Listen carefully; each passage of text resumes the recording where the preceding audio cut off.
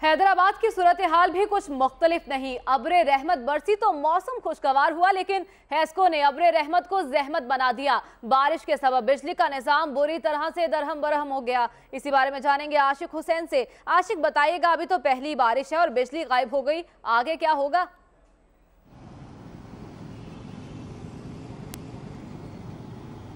जी, जिस तरह मानसून की बारिशों का सिलसिला गुज्त रोज़ से शुरू हुआ है तो आज शाम भी जिस तरह हैदराबाद शहर और उसके गिरदनवा के इलाकों में बारिश हुई थी और बारिश के बाद शहर और उसके गिरदनवा के इलाकों में कुछ गर्मी तो कम हुई है, मौसम खुशगवार हुआ है, लेकिन उसके बाद जो अब्र रहमत है, उसे हैस्को ने जहमत बना दिया है और अड़तालीस घंटे से शहर के मुख्तलिफ़ मकाम लतीफ़ाबाद, शहर हैदराबाद हैदर चौक पक्का किला, कच्चा किला आला नाका कासमाबाद के मुख्तलिफ़ के तमाम इलाकों में जो है बिजली का निज़ाम दरम बरम है और बिजली की तवील बंदिश का सिलसिला जारी है। आज दिन भर भी शहरीों की जानब से मुख्तलिफ़ मकाम पर एहतजाज का सिलसिला जारी रहा है और इस वक्त भी मुख्तलिफ़ मकाम पर एहतजाज किया जा रहा है और बिजली की बंदिश की वजह से जो फ़िल्टर ट्रिप हुए थे और मुख्तलिफ़ फ़िल्टर प्लांट पर बिजली बंद होने से शहर के बेशतर इलाकों में पानी का बुरान भी पैदा हो गया है।